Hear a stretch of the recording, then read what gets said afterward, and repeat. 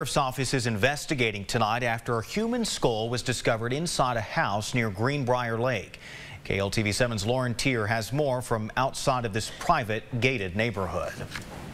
As you can see, there is no way to get to the specific residence where the human skull was found, but according to the Smith County Sheriff's Office, it was found on the 12,100 block of Greenbrier Lake Road, which runs directly behind me. This morning, when deputies arrived to the scene, an occupant of the house led them to a closet where the human skull was found.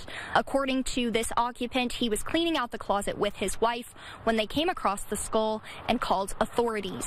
According to Sheriff Larry Smith, the skull will now be transported to the University of North Texas for forensic analysis.